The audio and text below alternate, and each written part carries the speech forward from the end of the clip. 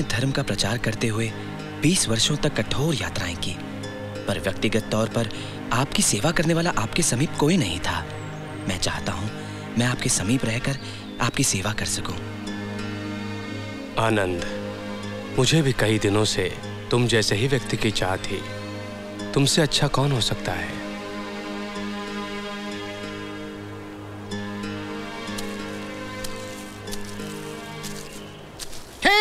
शक्तियों आओ गुरुदेव आओ दत्त को समा प्रणाम। जाओ। गुरुदेव महाराज बिंबसार की कारागार में हत्या कर दी गई है। जाओ। बिंबसार की हत्या मेरी पहली सफलता देवदत्त की पहली सफलता।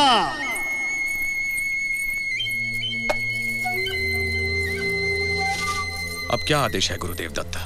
अजात शत्रु तुम्हारे पिता बिंबसार बुद्ध के बहुत अधिक प्रभाव में आ चुके थे और वो उनकी सेवा करने लगे थे।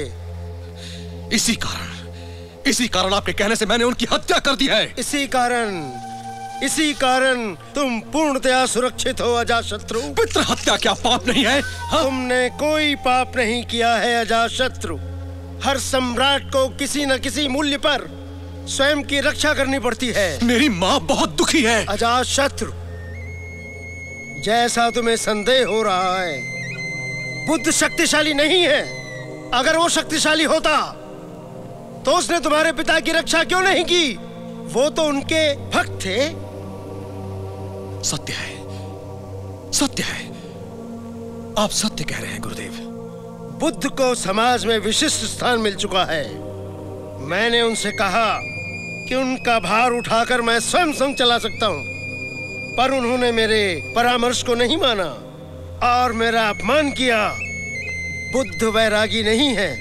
पर कितने ही विद्वान ब्राह्मणों ने अपने वैदिक मार्ग को छोड़कर बुद्ध का मार्ग अपनाया है। अजात शत्रु बुद्ध अपनी चतुराई से अच्छे अच्छे लोगों पर अपना दुष्प्रभाव डाल रहा है। मुझे एक बार उनसे मिलकर उनके बारे में और अधिक जानना है। सावधान सावधान अजात शत्रु।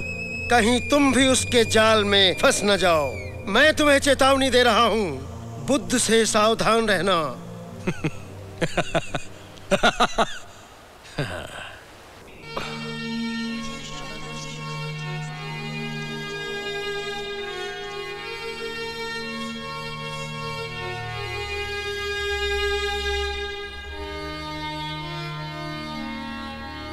आनंद। जी भगवान। मैं किसी समूह के यहाँ आने की ध्वनि सुन रहा हूँ। भगवान मेरी माता आपकी माता महारानी प्रजापति गौतमी राजकुमारी यशोधरा जनपद कल्याणी और बहुत से लोग आ रहे हैं। आनंद तुम भली भांति जानते हो। मैंने इससे पहले भी उन्हें प्रवज्जा देना स्वीकार किया था। माँ प्रजापति ने आपकी जन्म से ही सेवा की है। आपका स्नेह और प्यार उनके पास रहा है। अब उनके पास कुछ भी नहीं है। संसार अब उन्हें कुछ नहीं दे सकता। वे अब संसार से मुक्ति चाहती हैं, जिस मुक्ति का वचन आपने संसार को दिया है।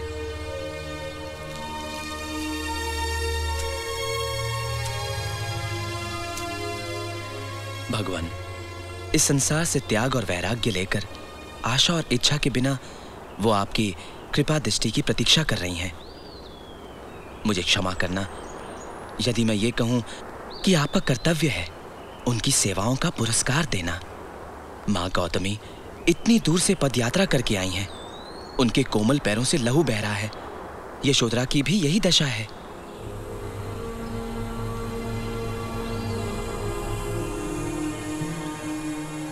आनंद।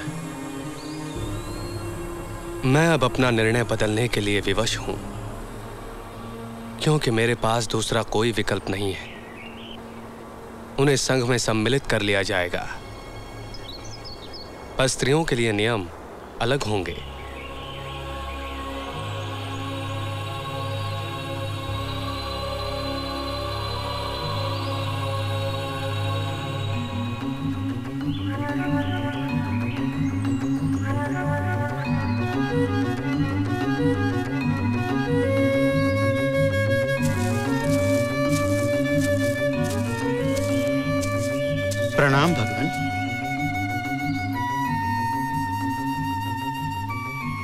भगवान आपने संघ में स्त्रियों के प्रवेश की अनुमति दे दी? जो कुछ भी हुआ वो संघ का भाग्य था। भगवान इसमें किस प्रकार का भाग्य? स्त्रियों की संख्या अधिक हो जाएगी जिस प्रकार किसी दुर्ग में बालक और स्त्रियाँ अधिक हो तो दुर्ग को निर्बल कर देते हैं। वे दुर्ग को किस प्रकार निर्बल कर सकते हैं भगवान? क्योंकि स्त्रियों और बालकों के होने से दुर्ग को आंतरिक सुरक्षा प्रदान करनी पड़ती है। बौद्ध संघ की भी यही स्थिति होगी।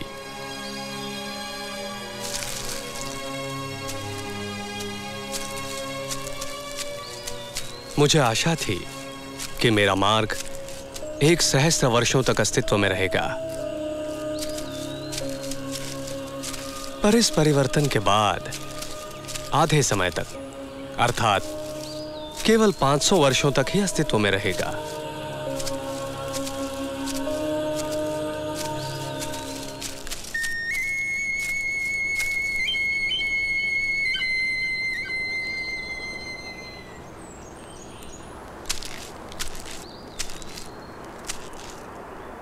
आदरणीय बुद्ध।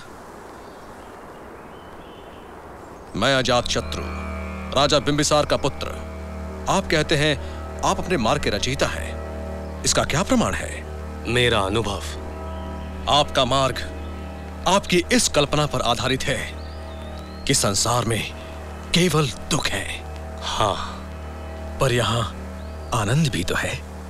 वो तो जाने वाला है अस्थाई है। अपने पुण्य से मनुष्य उस आनंद को स्थायी बना सकता है। मृत्यु तो निश्चित है। वही दुख है। आनंद के अर्जन के लिए यज्ञादि के रास्ते हैं। मनुष्य आनंद के पीछे दौड़ रहा है। इसमें क्या दोष है? आनंद की खोज उसका अनुसरण दुखों से भागने के लिए है। यही शाश्वत सत्य है। मैं समझ गया हूँ गौतम पर मुझे संन्यास मार्ग के बारे में कुछ संदेह है। वो क्या है? ये श्रमण कुछ भी नहीं करता। न कुछ कमाता है न किसी की सेवा करता है। आप क्या कहेंगे इसे? क्या आपने किसी आचार्य से इस विषय पर विचार विमर्श किया है? हाँ पूर्ण कश्यप भस्करी गोसाल अजीत केश कामली ने अपने मार्ग अक्रियावाद उच्छेदवाद के बारे में बताया पर किसी ने मेरी शंका का समाधान नहीं किया। मैं चाहता हूँ आप मेरे प्रश्नों का उत्तर दें। मेरे मार्ग में श्रमण। सम्मान का इसलिए पात्र है, क्योंकि उसने अपनी कामनाओं पर विजय प्राप्त कर ली है। श्रमण गृहस्थ को सच्चाई और त्याग की प्रेरणा देता है। वो स्वयं शांति का अनुभव करता है। गौतम बुद्ध, आपने मेरे सारे संदेह दूर कर दिए हैं। मैं आपके मार्ग में शरण चाहता हूँ। यदि तुम्हारे पाप न होते तो तुम्हें परम पद प्राप्त होता। मुझे अपने पिता की हत्या के पाप का पश्चाताप है। मैं जानता हूँ पर तुमने ये देवदत्त के संकेत पर किया है जिसका तुमने शिष्य के रूप में अनुसरण किया है। मेरे अपराध का बोध रात दिन मेरा पीछा करता है। मैं अशांत हूँ।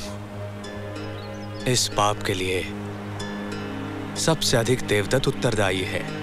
जो गुरु ईर्षा अहंकार और घृणा का भाव दूसरे गुरु के लिए रखता है, वो अपने शिष्यों में भी दुष्ट भावनाएँ भर देता है। राजन, शांति और अहिंसा का मार्ग अपनाकर अपने पापों को धो लो। तुम्हारा भविष्य है, देवदत्त का नहीं।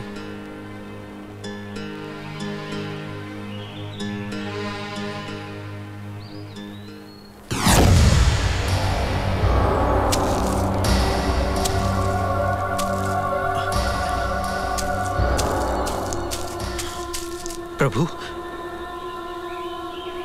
भयंकर हत्यारा अंगुली माल जेतवन में प्रवेश कर चुका है। कहा जाता है कि वो लोगों की हत्याएँ कर उनकी अंगुलियों की माला अपने गले में पहन लेता है। बुद्ध!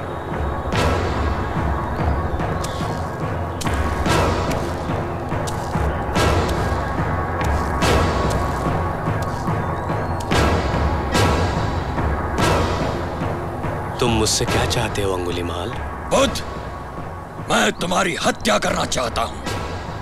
मैं तुम्हारी उंगलियाँ काटकर अपने इस माला में पिरोना चाहता हूँ। तो विलंब किस लिए?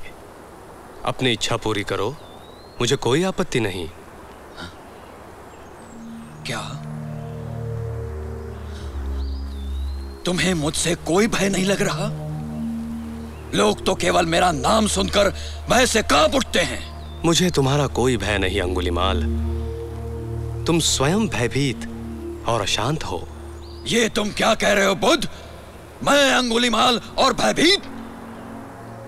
तुम मेरा परिहास कर रहे हो। तुम्हारी हिंसा में ही तुम्हारा भय छुपा हुआ है। क्या तुम्हें ज्ञात है बुद्ध? यदि मैंने तुम्हारी हत्या कर दी तो मेरा 100 व्यक्तियों की हत्या का लक्ष्य पूरा हो जाएगा। इससे तुम्हारा क्या लाभ होगा? इससे तुम्हें और अधिक भय और अशांति मिलेगी। अशांति? क्यों मिलेगी मुझे अशांति? जो हत्याएँ तुमने की है उनके लिए तुम जीवन भर पश्चाताप करोगे। तुम्हारा जीवन नरक हो जाएगा। निरंतर भय में डूब जाओगे। क्यों? क्योंकि जो आतंक और हिंसा तुम फैलाते हो वही लौटकर तुम्हारे पास आती है। यदि यह सत्य है तो मुझे क्या करना चाहिए? यह हिंसा का मार्ग छोड़ दो और नया जीवन आरंभ करो। परंतु यह कैसे संभव है? घृणा और हिंसा को त्यागने से तुम्हारे मन को शांति मिलेगी।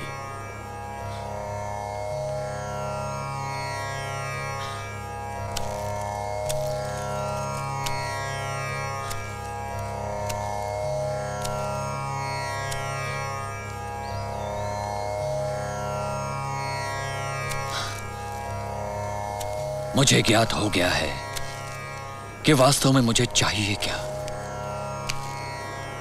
कृपया आप मुझे अपनी दया और करुणा का रक्षा कवच दीजिए प्रभु। यदि आप मेरे पापों के लिए मुझे क्षमा कर देंगे तो मैं आपके शरण में दीक्षा ले लूँगा।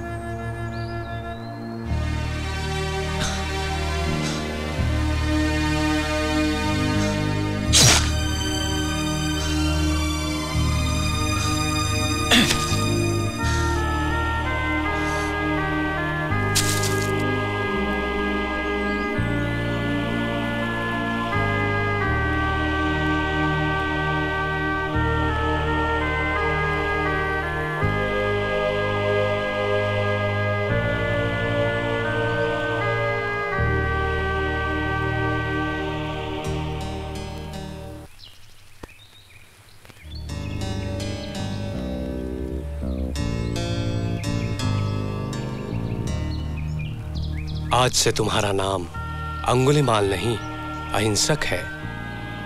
अहिंसा के पथ पर चलो और निर्वाण प्राप्त करो।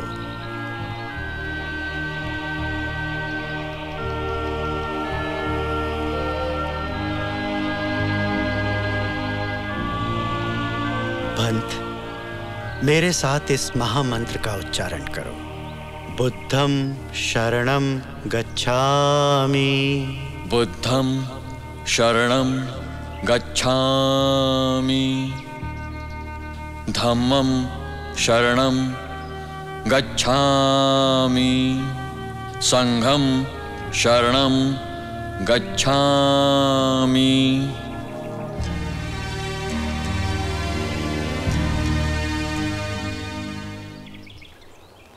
भगवान, आपने खोज की है मानव जीवन। दुख के सिवाय कुछ भी नहीं है। उत्तम तो यह है आनंद पूर्वक कई जीवन जीकर वैदिक यज्ञों के फलस्वरूप स्वर्ग प्राप्त किया जाए। इसमें क्या दोष है भगवान? विद्वान ब्राह्मणों तुम में से कोई जानता है कि स्वर्ग कैसा दिखता है? नहीं भगवान। क्या तुम्हारे आचार्यों ने जिन्होंने तुम्हें योग शिक्षा दी उन्होंने स्वर्ग को देखा है? नहीं भगवान। क्या तुमने किसी अन्य के बारे में सुना है जिसने स्वर्ग देखा हो। नहीं भगवान। स्वर्ग के बारे में बिना सुने बिना सूचना के यज्ञ करके कहा जाओगे? क्या आपका यह अर्थ है कि स्वर्ग नहीं है? मैंने स्वयं स्वर्ग देखा है। आप सब अपने नेत्रों को बंद करो। आप स्वयं ही स्वर्ग देख सकते हैं।